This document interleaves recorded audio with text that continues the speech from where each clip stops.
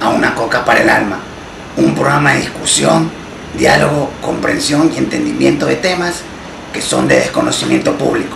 En programas anteriores hemos tenido a otras eminencias en su área, como por ejemplo a Racumín y a Bachman, pero con Bechica. Hoy con nosotros está el tótem del sexo.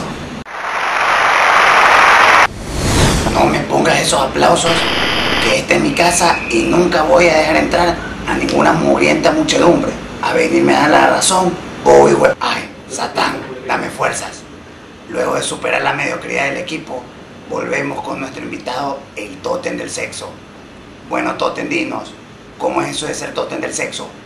Bueno, don Panther, yo soy un ser humano normal, una vida sexual normal, una relación normal, todo normal.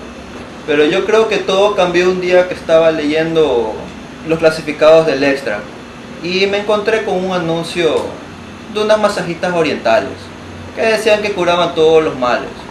Y como tenía un dolor en la espalda, fui a revisar la calidad del trabajo de esas chinitas.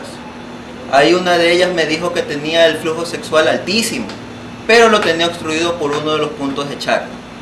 Y tenía que buscar a un, a un maestro en el flujo de chakra en las montañas tibetanas. Luego tenía que ir a, la- a las pirámides aztecas y encender el fuego que quema pero no consume. Y ofrecer mi miembro arrancado con los dientes al fuego purificador para completar el sacrificio azteca. Piteado, pero por lo visto lo conseguiste. Simón fue más o menos como el entrenamiento de Bruce Wayne para hacerse Batman. Más los viajes de Samurai Jack. Todo eso está en los manuscritos del Mar Muerto.